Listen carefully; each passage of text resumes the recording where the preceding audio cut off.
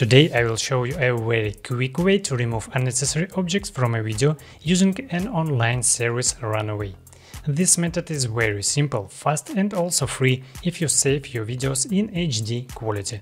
And let's take a closer look at this method.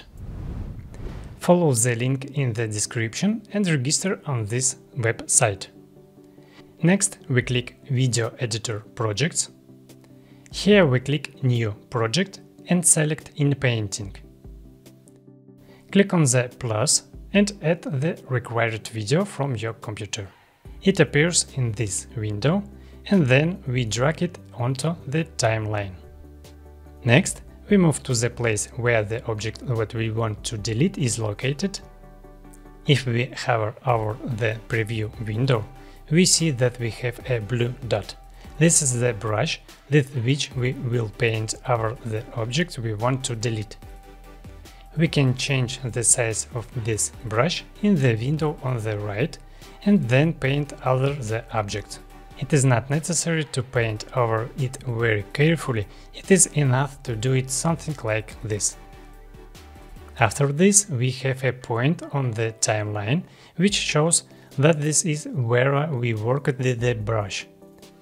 If in some fragment of the video we again have additional objects that they need be deleted, we sketch them again.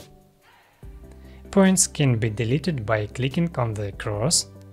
If it is necessary to remove small objects, when we can zoom in and move the picture by hand to the desired location.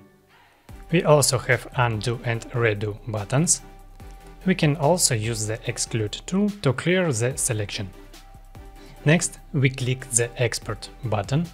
You can save video in 720p resolution for free.